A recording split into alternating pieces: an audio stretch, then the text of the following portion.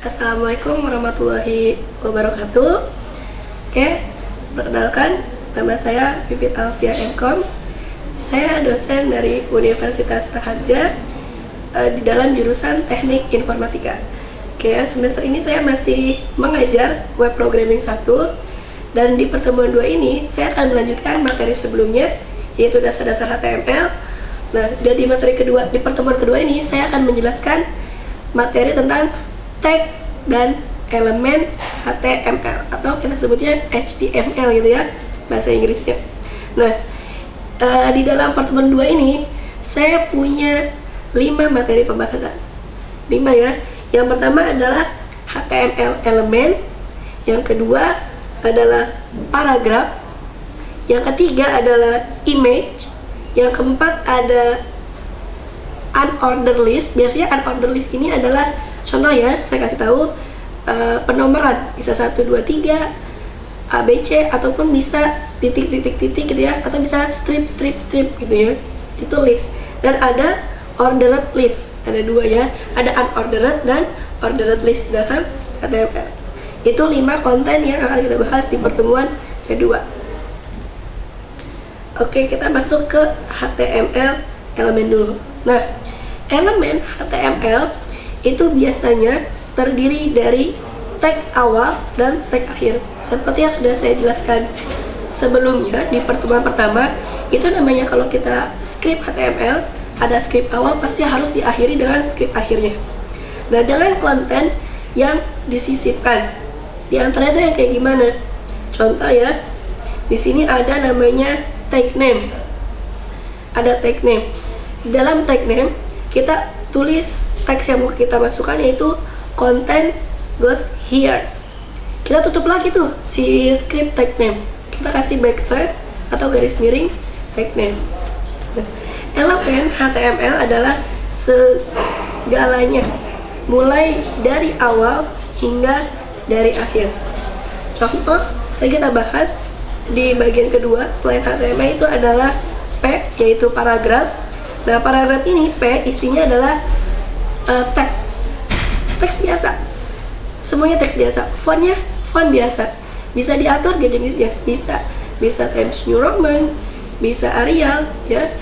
Bisa apalagi bisa Calibri, pokoknya bebas. Itu bisa diatur fontnya, jenis hurufnya, ukurannya. Bahkan bisa dikasih warna di dalam P itu. Nanti ada atau ada script-script tersendiri ada kodingan-kodingan tersendiri di dalam tag P ini atau di dalam tag paragraf. Oke, nah nanti di dalam elem, elemen HTML, tag HTML itu adalah untuk mendefinisikan seluruh, seluruh program. Jadi kalau kita enggak tidak mengawali uh, script HTML ini dengan pembukaan tag HTML-nya maka nanti sulit untuk mengakhirinya jadi uh, kayak disebutnya apa ya? Browser tuh nanti bingung ini bahasa program apa? Kok tidak dijelaskan tag awalnya apa? Gitu ya. Semua bahasa pemrograman pasti memiliki tag awal. Entah itu HTML, PHP, Java gitu ya. C++ itu semua punya tag awal. Nah memiliki tag awal HTML dan tag akhir garis miring HTML atau biasa mahasiswa sebutnya karena dia backslash gitu ya nah di dalam elemen HTML itu ada da, ada elemen body ada elemen hand ada elemen title. Ya, itu semua sudah dijelaskan di dalam dasar-dasar HTML di pertemuan sebelumnya. Ya teman-teman bisa lihat sendiri untuk scriptnya ya. Nah dan poin kedua itu paragraf. Paragraf pasti udah nggak aneh ya.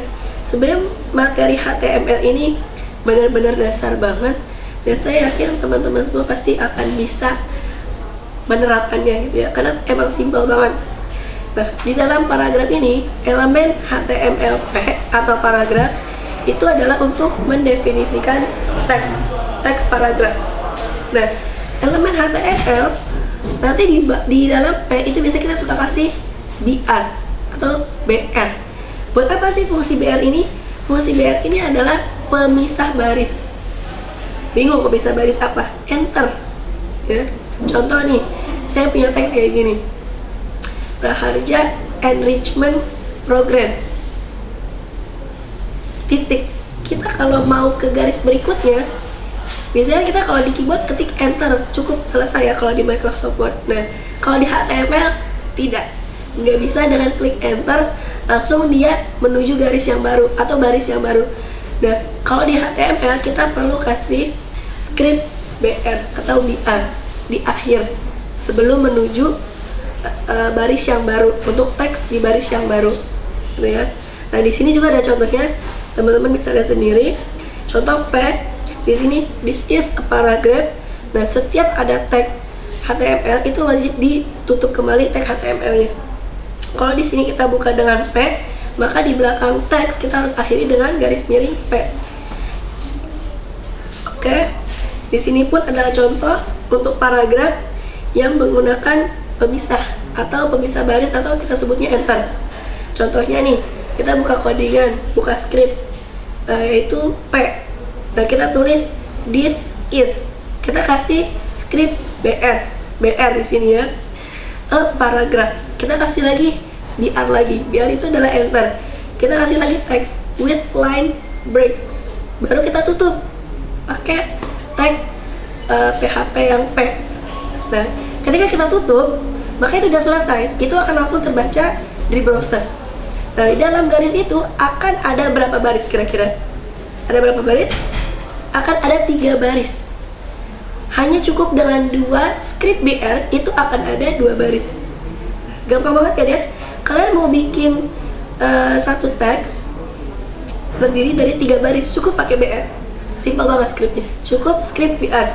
Nah, script BR ini karena hanya untuk pemisah baris, maka dia tidak perlu dikasih tag akhir atau dikasih tag garis miring atau black stripes selesai segitu doang untuk paragraf nah di sini ada contoh untuk elemen HTML preg yaitu untuk menentukan teks yang telah diformat sebelumnya. Nah di sini teman-teman bisa lihat di sini ada contoh teks atau paragraf terdiri dari 5 baris ya. 1 2 3 4 5 Nah di sini untuk memisahkannya kita bisa tanpa pakai atau tanpa menggunakan script BR tersebut yaitu menggunakan pre teman-teman bisa lihat di sini ya ini ada PRE PRE code-nya jadi contoh kita buka tag P kemudian kita tulis atau kita isi teksnya yaitu the pre tag preserver but both space and line breaks. Jadi buat ngasih spasi dan flag break yaitu enter. Tapi kita kasih pre. Garis pertama kita tulis karena ini udah teks yang telah diformat jadi mau nggak mau kalau udah diformat maka dia formatnya tiga baris berarti harus tiga baris kalau teksnya ada lima baris berarti harus lima baris karena sudah diformat baris yang pertama my bunny lie over the ocean baris yang kedua my bunny lie over the sea Baris yang keempat, my bunny flies over the ocean lagi. And then the, the last text, oh, bring back my bunny to me. Nah itu tanpa pakai atau tanpa menggunakan script BR atau BR itu bisa menjadi lima baris. Hanya dengan menggunakan script pre. Nah bedanya antara pre sama BR ketika BR tidak harus menggunakan ditutup scriptnya contoh BR teks dikasih lagi slash BR ditutup itu nggak perlu. Kalau BR cukup BR aja karena dia hanya untuk enter.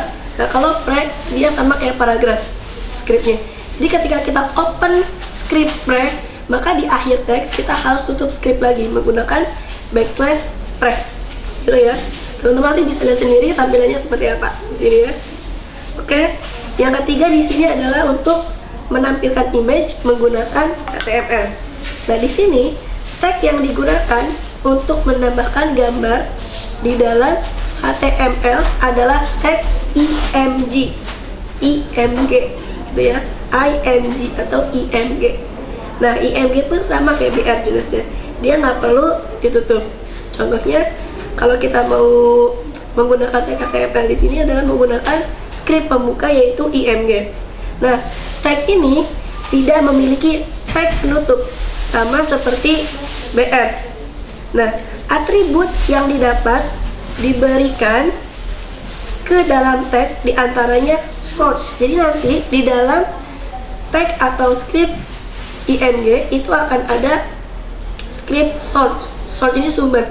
Contoh uh, src sama dengan kita mengambil di mana? Apakah kita mau mengambil image tersebut dari link, ya, dari web, web lain atau dari internet, atau kita bisa source-nya mengambil dari media penyimpanan laptop kita sendiri.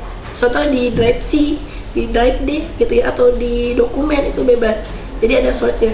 Nah, image tersebut untuk ditampilkan ke dalam tampilan web itu bisa diatur width-nya, height-nya gitu ya, title-nya, alternatifnya itu semua bisa diatur. Jadi simple banget untuk menampilkan image di dalam dalam menggunakan HTML oke di sini saya kasih contoh untuk menampilkan tiga image ya. Nah pertama kita ketik dulu source atau tag pembuka dari HTML yaitu HTML jangan lupa ditutup Kemudian di dalam headnya kita beri title yaitu menambahkan gambar. Jangan lupa title itu tag yang wajib ditutup. Kemudian setelah menutup title kita tutup kembali headnya dan kita mulai uh, tag baru yaitu body. Nah, menambahkan gambar ini karena gambar itu bagian dari konten dari isi maka kita harus menyimpannya di dalam tag body. Setelah body kita ada codingan img source gambar 1.jpg .jpeg widthnya bisa diatur 150 begitupun gambar kedua. Gambar kedua source-nya .jpeg height-nya adalah 100 yang ketiga pun sama gambar ketiga gambar 3.jpeg width-nya 200 teman-teman misalnya di sini tampilannya ya yang pertama ini adalah gambar tentang pohon yang ada daunnya. Yang kedua ada kayak buah ceri. Yang ketiga tentang laut. Nah itu ukurannya beda-beda sesuai kita ngatur width dan height-nya. Kita bisa lanjut ke konten terakhir yaitu unordered list dan ordered list. Ada dua jenis ya. Nah kalau untuk yang pertama yaitu unordered list. Ada dua jenis list yang berurutan. Itu disebutnya ordered list. Dan ada list yang tidak berurutan yaitu disebutnya unordered list. Jadi ada dua jenis list ya. Dua jenis list ini bukan cuma di dalam HTML di dalam Microsoft Word pun ada gitu ya. Untuk setiap penulisan teks atau paragraf. Nah untuk membuat list yang tidak beraturan maka kita akan menggunakan tag UL bisa UL bisa OL bisa LI itu untuk tag-tag unordered list. Terus yang kedua ada membuat item list pada setiap baris list menggunakan tag li. Ya. Ini untuk yang unordered list. Terus uh, tag ketiga dalam unordered list untuk membuat list berurutan bisa menggunakan tag OL. Nah, tag ini memberi maaf tag ini memiliki atribut tag yang menunjukkan jenis penomoran. Biasa kita bisa lihat ya di dalam Microsoft Word itu ada penomoran. Penomoran itu bisa satu, bisa A kecil, bisa A besar, kapital, bisa I kalau teman-teman kayak nulis di daftar pustaka ada I2 gitu ya di kata pengantar, ada I3 dan selanjutnya. Itu pun bisa kita tampilkan di dalam HTML. Nah, di sini ada contoh codingan codingan menggunakan unordered list dan tampilannya dalam web. Jadi yang pertama itu tampilan scriptnya menggunakan Notepad. Yang kedua ada tampilan webnya menggunakan Chrome, ya. Nah, di sini kita kasih judul, titlenya adalah list. Kemudian headingnya kita kasih cukup H3, nggak perlu besar-besar kayak H1 dan H2 yang fontnya lebih besar. Cukup tiga uh, titlenya adalah susunan acara. Kemudian kita mulai OL nah di dalam OL ini kita bisa tentukan typenya mau apa. Mau satu mau A kecil mau A kapital atau I. Di sini contohnya adalah I ya. Di contohnya adalah I. Nah karena contohnya I maka kita mulai LI LI ini adalah untuk list. List dalam HTML kita gunakan tag LI nah tag LI dan tag OL ini setelah uh, terakhir teks itu perlu ditutup skripnya atau tagnya perlu ditutup di akhirnya.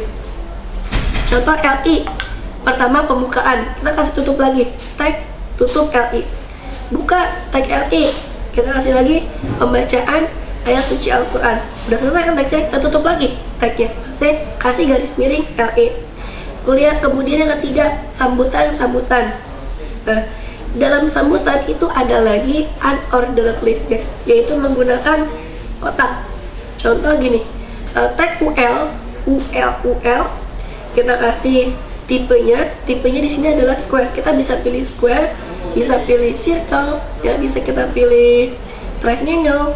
Bebas di sini yang kita gunakan type-nya adalah square. Kita pilih lagi listnya. Kita masukin lagi listnya yaitu uh, tag LI sambutan ketua panitia. Kita tutup lagi tagnya backslash LI kemudian yang kedua LI sambutan kepala sekolah. Kita tutup lagi tag LI nya kemudian jangan lupa semua tag unorder list yang di atas itu harus ditutup kalau kita di awal pakai UL untuk yang square kita tutup lagi di akhir. Backslash L. Nah untuk yang terakhir juga ketika kita menggunakan yang pertama tadi di awal itu kita menggunakan OL untuk penomoran I. Berarti di akhir juga kita tutup lagi tagnya. Tag garis miring OL gitu ya. Nah setelah selesai untuk konten body jangan lupa body pun harus ditutup ya garis miring body dan terakhirnya garis miring HTML jadi semua dalam tag HTML ketika kalian memulai tag yang baru itu harus ditutup kecuali BR dan image Oke, sekian dan terima kasih untuk pertemuan kedua.